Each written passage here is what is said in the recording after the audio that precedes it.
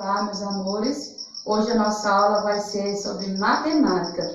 Nós vamos falar sobre o sistema monetário brasileiro. E o que é o sistema monetário? É nossa moeda, o nosso real. Tia trouxe um exemplo para vocês verem.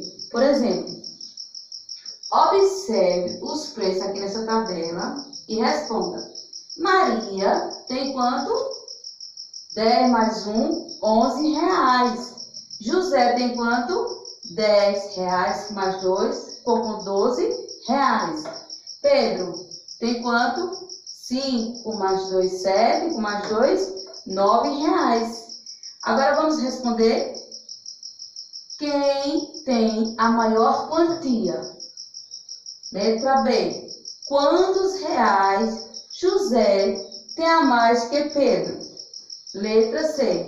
Quantos reais eles têm junto? Então, vocês vão responder essas três perguntas que Tia fez aqui no quadro e para você descobrir quem tem a maior quantia, quem tem a menor quantia e como termina o total de todos juntos.